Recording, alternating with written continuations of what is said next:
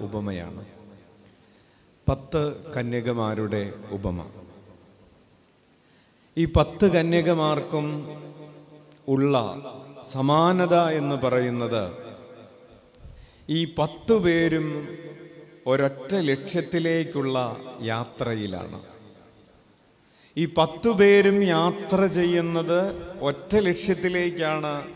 അത് മണവാളനെ എതിരേൽക്കുക എന്ന് പറയുന്ന മണവാളനോടൊപ്പം അകത്ത് പ്രവേശിക്കുക എന്ന് പറയുന്ന മണവാളനോടൊപ്പം ആഘോഷത്തിലേക്ക് പ്രവേശിക്കുക എന്ന് പറയുന്ന ഒറ്റ ലക്ഷ്യത്തിലേക്ക് യാത്ര ചെയ്യുന്നവരാണ്. അതിനുവേണ്ടി ഒരുങ്ങി പുറപ്പെടുന്നവരാണ് പത്തു പേരും.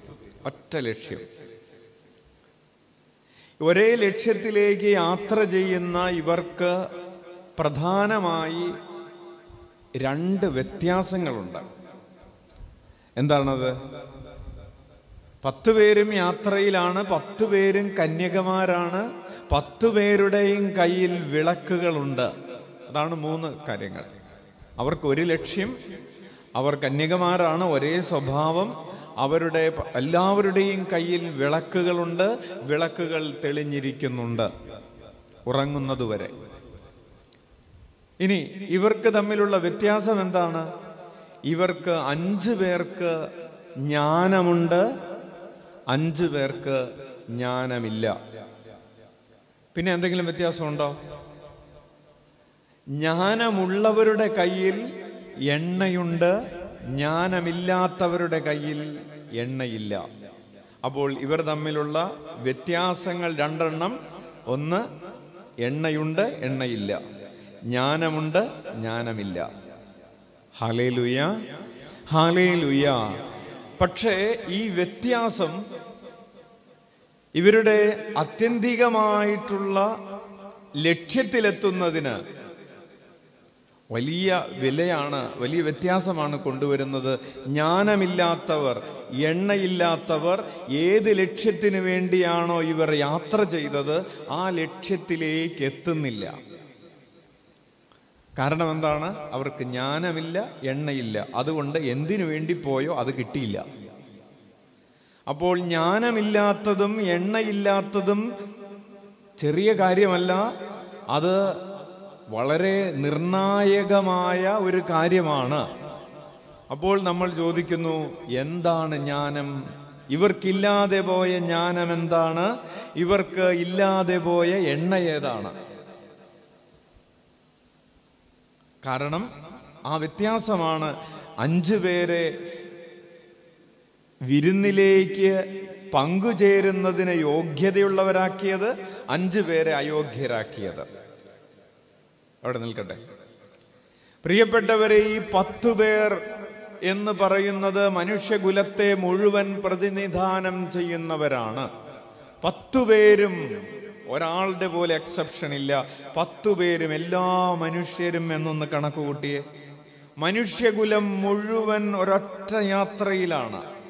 എന്താണ് മനുഷ്യ ജീവിതത്തിന്റെ ഏതു മനുഷ്യനും ആയിക്കൊള്ളട്ടെ മനുഷ്യ ജീവിതത്തിന്റെ ആത്യന്തികമായ ലക്ഷ്യം എന്താണ് മനുഷ്യ ജീവിതത്തിന്റെ ആത്യന്തികമായ ലക്ഷ്യം ദൈവീക ജീവനിൽ ലയിച്ചു ചേരുക എന്നുള്ളതാണ്.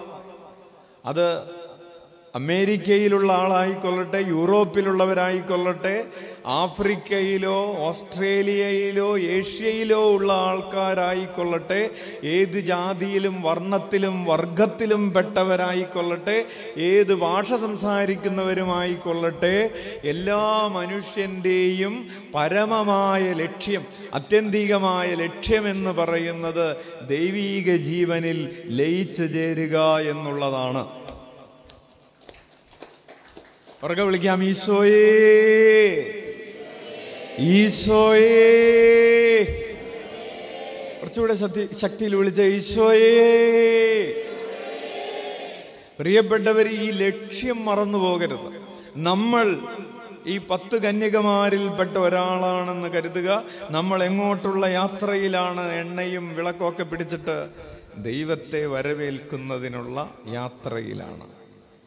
ഇനി ഉറങ്ങിപ്പോയി പത്തു പേരും ഉറങ്ങിപ്പോയി എന്ന് പറയുന്നതിനെ ഇങ്ങനെ വ്യാഖ്യാനിക്കാം. ജ്ഞാനമുള്ളവരും ഉറങ്ങിപ്പോയി എണ്ണയുള്ളവർ ഉറങ്ങിപ്പോയി എണ്ണയില്ലാത്തവർ ജ്ഞാനമില്ലാത്തവർ അവരും ഉറങ്ങിപ്പോയി. എന്താണ് അർത്ഥം? എല്ലാവരും മരിച്ചു. മരണം എല്ലാവർക്കും ഉണ്ട്. എല്ലാവരും മരിച്ചു. ഇതാ മണവാളൻ വരുന്ന സമയം. മണവാളൻ വരുന്ന സമയത്ത് എല്ലാവരും ഉയർത്തു. ജ്ഞാനമില്ലാത്തവർ കുറച്ചു നേരം കൂടുതൽ ഉറങ്ങിയോ നമ്മൾ അങ്ങനെയാണ് വിവരമില്ലാത്തവർ എട്ട് മണി വരെയൊക്കെ കിടന്നുറങ്ങുന്നുണ്ട്. എട്ട് മണി വരെയും പത്ത് മണി വരെയും കിടന്നുറങ്ങുന്നത് വിവരമില്ലാത്തതുകൊണ്ടാണ് പക്ഷെ മരണത്തിന് ശേഷമുള്ള ഉറക്കം അങ്ങനെയല്ല. മണവാളം വരുമ്പോൾ എല്ലാവരും എഴുന്നേക്കും. ചില ആളുകൾ ആര് വന്നാൽ എഴുന്നേക്കല്ല. അത് ഭൂമിയിലുള്ള കാര്യമാണ്. ഹാലേ ലുയ്യ ഹാലേ ലുയ്യ പ്രൈസ്തലോൾ പത്ത് മണിക്കൊക്കെ എഴുന്നേക്കുന്നവരിവിടെ ഉണ്ടെന്ന് ചില ആളുകളുടെ ചിരി കണ്ടാ അറിയാം. മാസ്ക് മുകളിലേക്ക് ഇട്ടോ. ഹാലേലുയ്യ പ്രിയപ്പെട്ടവരെ ഇതാ മണവാളൻ വന്നപ്പോൾ എല്ലാവരും എഴുന്നേറ്റു. എഴുന്നേറ്റ് കഴിഞ്ഞപ്പോഴാണ് പ്രതിസന്ധി ആരംഭിക്കുന്നത്. അതുവരെ തട്ടിമുട്ടിയൊക്കെ പോയി. എണ്ണയുള്ളവരും എണ്ണയില്ലാത്തവരൊക്കെ അങ്ങനെ അങ്ങോട്ട് കളിച്ചും ചിരിച്ചൊക്കെ പോയി മരണം കഴിഞ്ഞ് അല്ലെങ്കിൽ അവസാനത്തെ ഉറക്കം കഴിഞ്ഞ് എഴുന്നേറ്റ് കഴിഞ്ഞപ്പോൾ രണ്ടുപേരും തമ്മിലുള്ള വ്യത്യാസം വെളിപ്പെട്ടു. ജ്ഞാനമുള്ളവരുടെ എണ്ണയുള്ളവരുടെ വിളക്കുകൾ തെളിഞ്ഞു നിൽക്കുന്നു. ജ്ഞാനമില്ലാത്തവരുടെ എണ്ണയില്ലാത്തവരുടെ വിളക്കുകൾ കെട്ടുപോകുന്നു. വീണ്ടും നമ്മൾ ചോദിക്കുന്നു അങ്ങനെയാണെങ്കിൽ എന്താണ് ഈ ജ്ഞാനം? ഏതാണ് ഈ എണ്ണ? സുഭാഷിതങ്ങളുടെ പുസ്തകം എട്ടാം അധ്യായം ഇരുപത്തിരണ്ടാമത്തെ തിരുവചനത്തിൽ ജ്ഞാനം വിളിച്ചു പറയുകയാണ്. ജ്ഞാനം പറയുകയാണ് എല്ലാറ്റിനും മുമ്പ് ദൈവം എന്നെ സൃഷ്ടിച്ചു.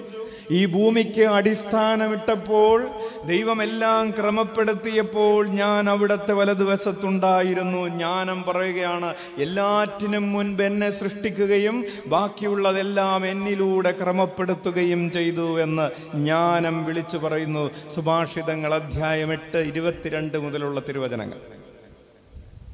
കൊളോസസുകാർക്ക് എഴുതിയിട്ടുള്ള ലേഖനം ഒന്നാം അധ്യായം പതിനഞ്ചാമത്തെ തിരുവചനം മുതൽ പൗലോസ് പറയുകയാണ് അവൻ ക്രിസ്തു എല്ലാറ്റിന്റെയും ആരംഭമാണ് എല്ലാം അവനിലൂടെയാണ് സൃഷ്ടിക്കപ്പെട്ടത്. വചനം വ്യാഖ്യാനിക്കുമ്പോൾ പഠിക്കുമ്പോൾ നമുക്ക് മനസ്സിലാകുന്നു ഈ ജ്ഞാനമെന്ന് പറയുന്നത് ക്രിസ്തുവാണ്.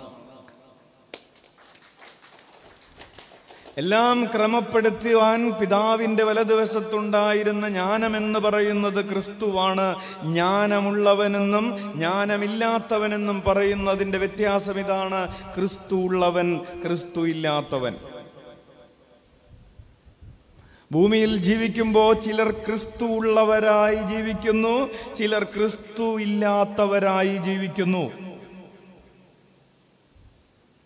ജ്ഞാനവും അറിവും തമ്മിൽ നമ്മൾ തെറ്റിദ്ധരിക്കരുത്. ഒത്തിരിയേറെ ബുദ്ധിയൊക്കെ ഉണ്ടാവും പഠിപ്പൊക്കെ ഉണ്ടാവും വലിയ ഉദ്യോഗമൊക്കെ ഉണ്ടാകാം. പക്ഷേ ജ്ഞാനമെന്ന് പറയുന്നത് പ്രിയപ്പെട്ടവരെ ക്രിസ്തു ഉള്ള അവസ്ഥയാണ്. നിനക്ക് ക്രിസ്തു ഉണ്ടോ? സോളമൻ ഈ ഭൂമിയിലുള്ള ധനത്തെക്കാളും അധികാരത്തെക്കാളും ശത്രു സംഹാരത്തെക്കാളും സമ്പത്തിനേക്കാളും അധികം ജ്ഞാനത്തെ ചോദിച്ചു എന്ന് പറയുമ്പോൾ പ്രിയപ്പെട്ടവരെ അത് ദൈവത്തിന് വേണ്ടിയിട്ടുള്ള ദാഹമാണെന്ന് നമ്മൾ മനസ്സിലാക്കുന്നു. അപ്പോൾ ജ്ഞാനമെന്ന് പറഞ്ഞാൽ ക്രിസ്തുവാണ്. നിനക്ക് ക്രിസ്തു ഉണ്ടോ? നീ ക്രിസ്ത്യാനിയാണോ? എന്നല്ല ചോദ്യം. നീ മാമോദീസ മുങ്ങിയിട്ടുണ്ടോ? എന്നല്ല ചോദ്യം. നിന്റെ പേര് പള്ളിയുടെ പുസ്തകത്തിൽ പള്ളി പുസ്തകത്തിൽ ഉണ്ടോ എന്നല്ല ചോദ്യം. നിനക്ക് ക്രിസ്തു ഉണ്ടോ? ഉണ്ടെങ്കിൽ നിനക്ക് ജ്ഞാനമുണ്ട്. നിനക്ക് ജ്ഞാനമുണ്ടെങ്കിൽ ആ ജ്ഞാനത്തിന്റെ ഒരു തുടർച്ചയായി മറ്റൊരു കാര്യം നിനക്കുണ്ടാകും. അതാണ് അഭിഷേകത്തിന്റെ എണ്ണ എന്ന് പറയുന്നത്. പരിശുദ്ധാത്മാവിന്റെ അഭിഷേകം മൂലം നിനക്ക് ലഭിക്കുന്ന ആത്മാവിലുള്ള ഫലങ്ങളാകുന്ന എണ്ണ നിനക്കുണ്ടാകും. അപ്പോൾ ക്രിസ്തുവും ക്രിസ്തുവിന്റെ ഫലമായി ക്രിസ്തു എന്നിലുള്ളതിന്റെ ഫലമായി ലഭിക്കുന്ന ആത്മാവിന്റെ പുത്തൻ അഭിഷേകത്തിന്റെ തൈലവുമായിട്ടാണോ ഞാൻ ജീവിക്കുന്നത് എന്നാണ് അത്യന്തികമായ ചോദ്യം. ഇതില്ലാതെയും ജീവിക്കാമെന്നേ. ഈ ഭൂമിയിലുള്ള ജീവിതം ഇതില്ലാതെയും ഒരു പരിധി വരെ മുന്നോട്ട് കൊണ്ടുപോയി. ചത്തൊടുങ്ങാം. പക്ഷേ അതിനുശേഷം പ്രിയപ്പെട്ടവരെ നിന്നെ നിത്യതയിലേക്ക് വഴി നടത്തുന്ന എണ്ണയും പ്രകാശവും നിനക്കുണ്ടാകണമെങ്കിൽ നിനക്ക് ക്രിസ്തു ഉണ്ടായേ മതിയാവൂ. ആകാശത്തിന് കീഴേ ഭൂമിയിൽ മനുഷ്യരക്ഷയ്ക്കായി മറ്റൊരു നാമവും നൽകപ്പെട്ടിട്ടില്ല. ഈ ഭൂമിയിൽ ക്രിസ്തുള്ള ജീവിതം നയിച്ചാലേ നിത്യതയിൽ ക്രിസ്തുവിനോട് ചേർന്ന് ജീവിക്കാൻ പറ്റുകയുള്ളൂ.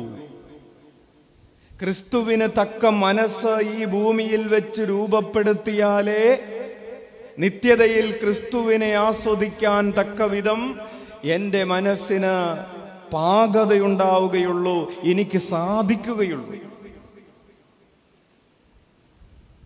അല്ലെങ്കിൽ കണ്ണു കാണാൻ പാടില്ലാത്ത ഒരാൾ സിനിമ കാണാൻ വേണ്ടി തിയേറ്ററിൽ കൊണ്ടുപോയി ഇരുത്തിയ പോലെ ഇരിക്കും. കണ്ണ് രണ്ടും കണ്ടുകൂടാ. തിയേറ്ററിൽ കൊണ്ടേ ഇരുത്തിയിരിക്കും. എല്ലാവരും ചിരിക്കുമ്പോൾ അയാൾ കരയേണ്ട വരും. കാരണം എന്താണ്? അയാളുടെ കണ്ണില്ല. അയാൾക്ക് കണ്ണ് തുറന്നിട്ടില്ല. അയാൾക്കൊന്നും കാണാൻ പറ്റുന്നില്ല. ഒന്നും കേൾക്കാനും പറ്റുന്നില്ല. കേൾക്കാൻ പറ്റുന്നില്ലെങ്കിൽ കുഴപ്പമില്ല. ചിരിക്കുന്നതൊന്നും അറിയില്ല ഹലേലുയ പ്രിയപ്പെട്ടവർ ഇതാണ് ദൈവത്തെ ആസ്വദിക്കാൻ തക്കവിധം നമ്മൾ ഈ ഭൂമിയിൽ പാകപ്പെടണം എന്നാണ് ദൈവീശ്വ ആഗ്രഹിക്കുന്നത്. നമ്മുടെ ഈ ഭൂമിയിലുള്ള യാത്രയിൽ ക്രിസ്തുവിനെ നഷ്ടപ്പെടുത്തുന്ന വഴികൾ സാധ്യതകൾ സാഹചര്യങ്ങളുണ്ട്. നമ്മുടെ കയ്യിലുള്ള എണ്ണ അഭിഷേകത്തിന്റെ എണ്ണ നമുക്ക് ലഭിച്ചിട്ടുള്ളത് നഷ്ടപ്പെടുത്തുന്ന വഴികളുണ്ട്. ഇനി ലഭിക്കാനിരിക്കുന്നത് വേണ്ട എന്ന് വയ്ക്കുന്നവരുണ്ട്. നിരന്തരമായ കൂതാശകളിലൂടെ അഭിഷേകത്തിന്റെ എണ്ണ നമ്മിലേക്ക് വരുന്നതിന് നമ്മളായിട്ട് തടസ്സം നിൽക്കാറുണ്ട്. അതുകൊണ്ടാണ് അച്ഛൻ ആദ്യം പറഞ്ഞത് അഭിഷേകത്തിന്റെ എണ്ണ ഇതാ ബലിവേദിയിൽ നിന്ന് വിതരണം ചെയ്യപ്പെടുന്നുണ്ട്. നീ അത് സ്വീകരിക്കുമോ ഇല്ലയോ? നീ അതിനെ എത്ര വില കെട്ടതായി എത്ര വില കുറഞ്ഞതായി കണക്കാക്കുന്നു? ഇല്ലേലും കുഴപ്പമില്ലെന്നേ. ഇതിപ്പോ ഉണ്ടായിട്ടാണോ കാര്യങ്ങളൊക്കെ നടക്കുന്നത്? അഭിഷേകത്തിന്റെ എണ്ണയും വേണ്ട ക്രിസ്തുവാകുന്ന ജ്ഞാനവുമില്ലാതെ അത് വേണ്ട. ചിലപ്പോഴൊക്കെ നമ്മൾ പള്ളിയിൽ പോകുന്നത് ഞാനിന്ന് പള്ളിയിൽ പോയി എന്ന് പറയുന്നത് നമ്മൾ ദൈവത്തോട് കാണിച്ച ഒരു ഉദാരതയാണ് പോലും. അല്ലാതെ നമുക്ക് പോകാൻ കഴിയുന്നത് ദൈവം നമുക്ക് തന്ന ഒരു ദാനമായിട്ടല്ല. ഞങ്ങൾ ഇന്ന് പള്ളിയിൽ പോയി. വലിയ കാര്യമാണ്. ദൈവം നമ്മെ വഴി നടത്തുകയാണ്. പ്രിയപ്പെട്ടവരെ ജ്ഞാനമുണ്ടാകട്ടെ. എണ്ണയുണ്ടാകട്ടെ. ജ്ഞാനവും എണ്ണയും സ്വീകരിക്കാൻ ഹൃദയം തുറക്കപ്പെടട്ടെ. കണ്ണുകളടക്കാം.